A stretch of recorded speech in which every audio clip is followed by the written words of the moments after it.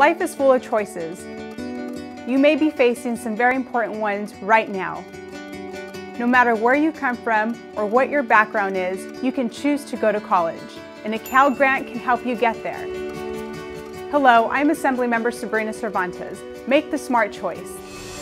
The deadline to apply for a Cal Grant is March 2nd. Go to my website for more information.